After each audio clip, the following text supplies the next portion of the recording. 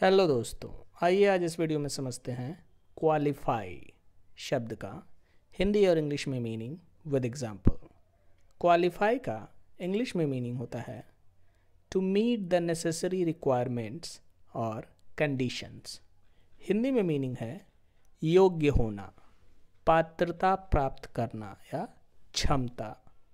चलिए इसको एग्ज़ाम्पल से समझते हैं. She needs to qualify for the scholarship उसे छात्रवृत्ति के लिए अहर्ता प्राप्त करने की आवश्यकता है। उसे छात्रवृत्ति के लिए योग्य होने की आवश्यकता है। तो यहाँ पे क्वालिफाई का मतलब है अहर्ता प्राप्त करना या योग्य होना। तो इस वीडियो में इतना इस वीडियो को लाइक करें। चैनल पर नए हैं तो इस चैनल को प्लीज़ सब्सक्राइब करें।